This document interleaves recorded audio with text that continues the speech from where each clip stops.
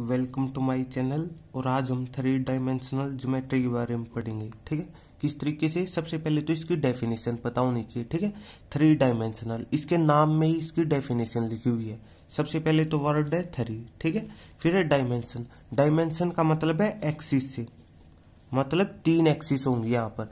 Axis कह सकते हो, लेकिन लाइन भी कह सकते हो। लेकिन यहाँ पर, ठीक है ना? पॉइंट क्या है कि यहाँ पर लाइन नहीं कहेंगे। लाइन सिर्फ़ समझ सकते हैं कि तीन लाइन होंगी, ठीक है? और ज्योमेट्री का मतलब है शेप से ठीक है? सेप सी या फिर कोई भी फिगर हो, ठीक है? इस तरीके से थ्री डायमेंशनल ज्योमेट्री होगी, ठीक है? मतलब तीन एक्सिस होंगी, ठीक है? लेकिन इसको आसान लैंग्वेज में समझने के लिए ये कह सकते हैं कि तीन लाइन होंगी, ठीक है? अब यहाँ पर क्वेश्चन ये उठता है कि लाइन और एक्सिस में डिफरेंस क्या है, ठीक है ना? लाइन और एक्सिस में डिफरेंस क्या होगा? अब इसका पता होना चाहिए, ठीक है? उससे पहले यहाँ पर कुछ बेसिक टर्म बार बार यूज़ होंगी, ठीक है ना? बेसिक टर्म यूज़ होंगी। बस उनका पता होना चाहिए किस तरीके से, जैसे यहाँ पर थ्री डायमेंशन है। उससे पहले वन डायमेंशन होता है वन डी ठीक है ना? वन डी का मतलब डायमेंशन से, ठीक है ना?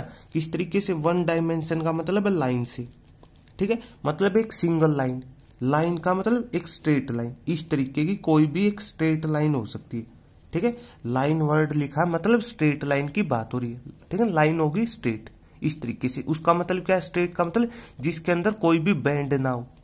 ठीक है ना? बैंड ना हो मतलब ये स्ट्रेट होनी चाहिए। कहने का मतलब ये कुछ इस तरीके की ना हो। ठीक है ना? मतलब बीच में कोई भी करव ना बने, कोई भी बैंड ना हो। इसका ये मतलब था स्ट्रेट लाइन से मतलब है। ठीक है? ये वन डायमेंशन इसी तरीके से टू डायमेंशन ठीक है ना?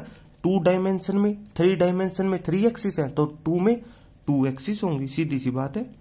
ठीक है? टू एक्सिस होंगी, ठीक है? और इसी तरीके से थ्री डायमेंशन। थ्री डायमेंशन का मतलब थ्री एक्सिस से, या फिर समझने के लिए यहाँ पर कह सकते हैं तीन लाइन होंगी। अब किस तरीके, अब यहाँ पर डिफरेंस क्या है? लाइन और एक्सिस के बीच में। लाइन की तो ये डेफिनेशन है कि जिसके अंदर कोई भी बैंड ना हो, इस तरीके से। ठीक है? जिसके अंदर कोई भी बैंड ना हो। ठीक है? और ये दोनों डायरेक्शन में इंक्रीज हो सकती है। मतलब इस साइड भी राइट हैंड साइड भी और इस साइड भी, इस तरीके से। ठीक है ना? इनफाइनाइट पाथ तक ये इंक्रीज हो सकती है। लाइन का ये मतलब होता है। ठीक है? तो अब इसी तरीके से रे है। ठीक है ना? रे या फिर कहें एरे एरे क्या होती है? बस पता होना चाहिए कि एक डायरेक्शन में इंक्रीज होगी। मतलब एक साइड यहाँ पर फिक्स पॉइंट हो जाएगा, दूसरी साइड में इंक्रीज हो सकती है एरे ठीक है? और इसी तरीके से इसी में एक कंडीशन लगा दे लाइन में लाइन सेगमेंट ठीक है ना? लाइन सेगमेंट क्या होती है? जब इस कंप्लीट लाइन का कोई एक छोटा पार्ट मतलब बस यही एरे की कंडीशन एक बार और बढ़ा दो मतलब दोनों साइड फिक्स्ड पॉइंट की बात हो जाए, उसके अंदर बीच का जो डिस्टेंस है, उसका नाम है लाइन सेगमेंट सेगमेंट का मतलब मतलब क्या होता है? पार्ट मतलब लाइन का एक छोटा सा हिस्सा, इस तरीके से। कोई भी हिस्सा हो सकता है, ये हो सकता है, या फिर इतना हो सकता है। ठीक है ना? वो कंडीशन के ऊपर डिपेंड बस ये बेसिक डेफिनेशन है, या फिर कहीं बेसिक टर्म है। ठीक है ना? इस तरीके से। ये तो हुई लाइन से रिलेटेड बात। अब एक्सिस क्या होती है? ठीक है ना? अब एक्सिस क्या होगी? एक्सिस का मतलब सीधी सी बात है, एक फिक्स्ड लाइन है। ठीक है ना? एक फिक्स्ड लाइन होगी। और लाइन कौन सी? Straight line. एक फिक्स्ड लाइन होगी। ठीक है? लेकिन यहाँ पर एक कंडीशन है। उस कंडीशन का क्या नाम है? कि फ्रॉम रेफरेंस ठीक है ना? फ्रॉम रेफरेंस अब रेफरेंस का मतलब क्या है? जैसे ओरिजन रेफरेंस क्या होगा इस केस में? ओरिजन ठीक है? अब इस रेफरेंस वर्ड को समझना, एक सिंपल सा एग्जांपल लेके देखो, किस तरीके से कोई भी एक लाइन है, या फिर कहो कि एक वायर है, ठीक है ना? उसकी लेंथ है, जैसे फाइव कोई भी यूनिट ले सकते हो, जैसे फाइव मीटर ले ली, ठीक है ना? यहाँ से यहाँ तक का डिस्टेंस है फाइव मीटर कोई भी यूनिट ले सकते हो समझने के लिए, ठीक है? लेकिन हमें कैसे पता चला कि ये फाइव है? ठीक है ना? समझने की बात है, यहाँ पर हमें कैसे पता चला कि ये लेंथ फाइव है? मतलब ज़ीरो से स्टार्ट हुई। सही बात है। और यहाँ से यहाँ तक की लेंथ का नाम है फाइव सही बात है ज़ीरो से स्टार्ट हुआ। मतलब यहाँ पर रेफरेंस ज़ीरो था। सही है। इसी तरीके से जब एक्सिस की बात करते हैं तो वहाँ पर ज़ीरो की बजाय ओरिजन हो जाएगा रेफरेंस और ओरिजन किस तरीके का होता है? ओरिजन कुछ इस तरीके का होगा ज़ीरो कोमा ज़ीरो टाइप का। ठीक है? अब जैसे एक्सिस की बात कर रहे थे हम, ठीक है ना? एक्सिस मतलब एक फिक्स्ड लाइन किस तरीके से? अब इस तरीके से प्लस वन क्लास में भी पढ़ा है हमने, ठीक है ना? मतलब एक्सिस क्या होती है? मतलब ये है वो रीजन जहाँ पर ओरिजिन इस साइड एक्स एक्सिस ठीक है? और प्लस की, ठीक है? और इस साइड ऊपर होती है वाई एक्सिस सही बात है, ठीक है ना? इस तरीके से, और इस साइड माइनस एक्स एक्सिस और नीचे माइनस वाई एक्सिस सही बात है, ठीक है ना? ये है वो एक्स एक्सिस जैसे यहाँ पर एक्स है या इस केस में वाई है। इस साइड माइनस एक्स इस साइड माइनस वाई सही बात है, ठीक है ना? इस तरीके से समझना। अब ये पॉइंट है ओ ओ का मतलब ओरिजिन और ओरिजिन कुछ इस तरीके का होगा ज़ीरो कोमा ज़ीरो सही बात है ज़ीरो कोमा ज़ीरो टाइप का ओरिजिन होगा। लेकिन किस केस में? टू डी के केस में। सही बात है, ठीक है ना? टू डी के मतलब टू डायमेंशन अब यहाँ पर एक बेसिक टर्म ये है टू डायमेंशन वर्ड लिखा हो, या फिर यहाँ पर प्लेन लिखा हो, एक ही मतलब रहेगा। टू डायमेंशन को या फिर प्लेन, टू डायमेंशन का मतलब दो एक्सिस सही बात है, दो एक्सिस ठीक है? या फिर कहो कि प्लेन, किस तरीके, जैसे ये सीट है। एग्ज़ाम्पल क्या हो सकता है? कोई भी सीट ऑफ़ पेपर ठीक है ना? कोई भी सीट ऑफ़ पेपर इसका एग्ज़ाम्पल हो सकता है, जिसके अंदर सिर्फ़ दो ही लेंथ हो, ठीक है? या फिर कहो कि दो ही एक्सिस हो। समझने के लिए दो लेंथ कह सकते हो, ठीक है? ठीक है? जैसे यहाँ पर सीट है जो रेक्टेंगल टाइप की दिख रही है मतलब एक लेंथ है और दूसरी का नाम ब्रेथ है। या फिर कहो कि दो डिस्टेंस की बात हो रही है, इस तरीके से। ठीक है? दो डायमेंशन का ये मतलब रहेगा। अब बात करनी हमने थ्री डायमेंशन की। तो थ्री डायमेंशन वर्ड लिखाओ, या फिर इसकी जगह ये वर्ड लिखाओ स्पेस एक ही मतलब होगा। ठीक है? थ्री डायमेंशन लिखाओ, या फिर स्पेस एक ही मतलब होगा, जिसके अंदर तीन लाइन हो। तीन एक्सिस हो या फिर तीन डिस्टेंस हो। सीधी सी बात तो ये है। ये जो ओरिजन है, यहाँ पर ज़ीरो कोमा ज़ीरो ये किस केस में है? ये है प्लेन का। सही बात है, क्योंकि यहाँ पर सिर्फ़ दो एक्सिस की बात हो रही एक एक्स की एक वाई की वो एक अलग बात है प्लस एक्स या फिर माइनस एक्स ठीक है ना? इस तरीके से। ठीक है? इस तरीके से समझना ये है प्लेन के हिसाब से। जो ये ओरिजिन लिख दिया इस तरीके का ये प्लेन का ओरिजिन है। सही है? तो स्पेस में ओरिजन किस टाइप का होगा? ओरिजन ओ से, ठीक है? और ओरिजन इस तरीके से लिख देंगे। Zero comma zero comma zero इस तरीके से लिखेंगे, ठीक है? अब इसके बाद इस चीज़ को समझना है कि zero comma zero comma zero क्या लिखा इसके लिए कोई भी एक पॉइंट मान के चलो। जैसे पी पॉइंट मान लिया एक्स कोमा वाई इस तरीके का पॉइंट मान लिया टू डी के हिसाब से समझ रहे हैं।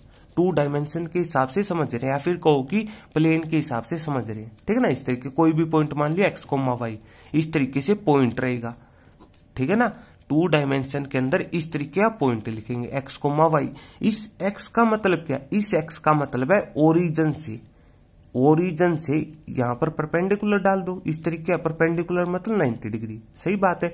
इस एक्स का मतलब है एक्स एक्सिस पर। एक्स एक्सिस पर ओरिजन से कितना डिस्टेंस है? ये है वो एक्स इस एक्स का ये मतलब रहेगा एक्स एक्सिस पर कितना डिस्टेंस है? कहाँ से ओरिजन से? इस तरीके से। मान लो कि पॉइंट पी मान लो, यहाँ पर पी की जगह क्यों मान लो? कि क्यों पॉइंट कुछ इस तरीके का लिखा हो? माइनस एक्स कोमा वाई सही बात है। तो इस माइनस एक्स का मतलब क्या हो जाएगा? माइनस एक्स एक्सिस की तरफ़ ओरिजन से कितना डिस्टेंस है? यहाँ से परपेंडिकुलर डालो इस डिस्टेंस का नाम है माइनस एक्स ठीक है? लेकिन एक बात हमें पता होती है कि डिस्टेंस जो, ठीक है ना? डिस्टेंस सिर्फ़ मतलब डिस्टेंस कभी भी नेगेटिव नहीं होगा, या तो ज़ीरो होगा या फिर पॉजिटिव बेसिक सी बात है। मतलब डिस्टेंस तो एक्स है, लेकिन माइनस क्यों माइनस का साइन क्यों लिखा? क्योंकि माइनस एक्स एक्सिस की तरफ़, इस वजह से।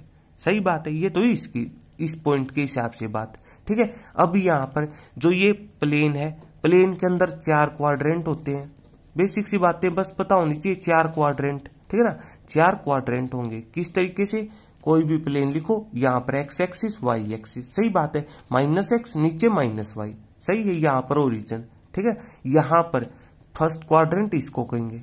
यहाँ पर सेकंड क्वाड्रेंट होता है third quadrant fourth quadrant first quadrant का मतलब क्या है? कि कोई भी पॉइंट हो फ़र्स्ट क्वाड्रेंट के अंदर उसमें एक्स भी प्लस का होगा वाई भी प्लस का होगा। सही बात है फ़र्स्ट क्वाड्रेंट की मतलब पॉइंट कुछ इस तरीके का होगा एक्स कोमा वाई जैसे यहाँ पर था, ठीक है? सेकेंड क्वाड्रेंट के अंदर क्या हो जाएगा वाई तो प्लस का, लेकिन एक्स माइनस का हो जाएगा पॉइंट कुछ इस तरीके का हो जाएगा माइनस एक्स कोमा वाई सही बात है, ठीक है? और जो ये पॉइंट लिख दिया, इसी को कहते हैं कोऑर्डिनेट ऑफ़ ए पॉइंट ठीक है? बेसिक सी टर्म में कोऑर्डिनेट ऑफ़ ए कोई भी पॉइंट हो सकता है, जैसे पी हो सकता है क्यू हो सकता है, कोई भी पॉइंट लेके चले। ये है कोऑर्डिनेट ऑफ़ ए पॉइंट लेकिन किसके हिसाब से? टू डायमेंशन के हिसाब से। ठीक है? इस तरीके से। ठीक है? और इस एक्स को मतलब एक्स एक्सिस पर कितना डिस्टेंस है, इसको यहाँ पर प्लेन के अंदर। ठीक है? प्लेन के अंदर इस एक्स को क्या कहेंगे? अब शीशा इस तरीके से। ठीक है? और वाई को क्या कहेंगे? वाई का मतलब क्या है? वाई का मतलब इस सीट जैसे एक्स यहाँ पर था, इस वाई का मतलब क्या है कि वाई एक्सिस पर ओरिजन से कितना डिस्टेंस है? इस तरीके से, कितना डिस्टेंस यहाँ पर? परपेंडिकुलर डाल दो वाई एक्सिस पर, इस तरीके से। तो जो ये डिस्टेंस है, यहाँ से यहाँ ओरिजन से ये डिस्टेंस उसका नाम क्या है? वाई इस तरीके से। ठीक है? और इसको कहेंगे वाई को कहेंगे ऑर्डिनेट सही है? और दोनों को मिला के कोऑर्डिनेट इस तरीके से। ठीक है? अब ये तो ही टू डी के हिसाब से बात कि पॉइंट कुछ इस तरीके का हुआ X comma Y generally point X comma Y ठीक है? ये भी पॉइंट समझ सकते हैं इस तरीके से थर्ड क्वाड्रेंट में एक्स भी नेगेटिव वाई भी नेगेटिव ठीक है? फोर्थ क्वाड्रेंट में क्या हो जाएगा? एक्स प्लस का वाई माइनस का हो जाएगा। कोई भी पॉइंट यहाँ पर ले सकते हो इस तरीके से, ठीक है? अब बात करनी है थ्री डायमेंशन की, ठीक है ना? थ्री डायमेंशन अब बस यहीं पर जो पॉइंट है पॉइंट कुछ टू में तो इस तरीके का होता है। तो थ्री में यही पॉइंट कुछ इस तरीके का हो जाएगा X comma Y comma Z सही बात है। टू में हमने क्या कहा था कि दो एक्सिस होंगी। एक्सिस का मतलब ओरिजन से। ओरिजन से कोई भी एक लाइन सीधी सी बात तो ये है। ठीक है?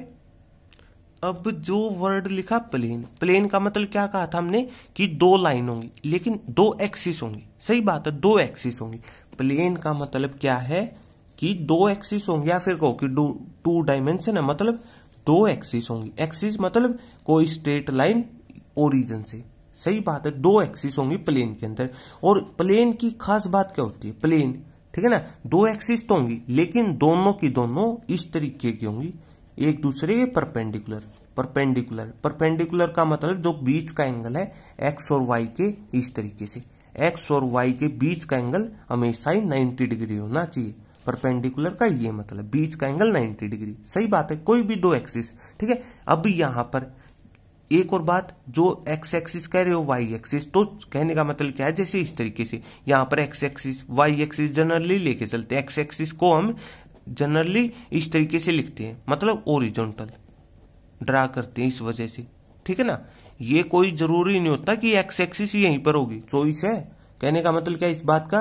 कि यहाँ पर वाई मान सकते हो, यहाँ पर एक्स लेकिन कंडीशन बस ये है प्लेन की जो कंडीशन है, वो ये होनी चाहिए कि दोनों परपेंडिकुलर होनी चाहिए, ठीक है? लेकिन हम जनरली एक्स को ओरिजेंटल शो करते हैं और वाई को वर्टिकल इस वजह से। सही बात है, इस वजह से, ठीक है?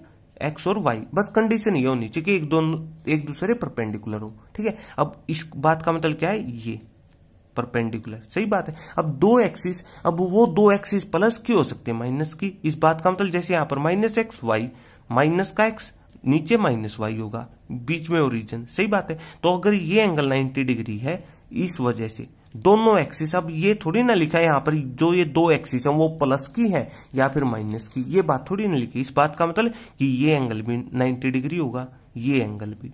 ये सारे एंगल 90 डिग्री होंगे। कहने का ये मतलब था, सारे ही परपेंडिकुलर होने चाहिए, तभी प्लेन की कंडीशन होगी। प्लेन का मतलब दो डायमेंशन और दोनों की दोनों एक्सिस एक दूसरे परपेंडिकुलर हो। इस तरीके से, ठीक है?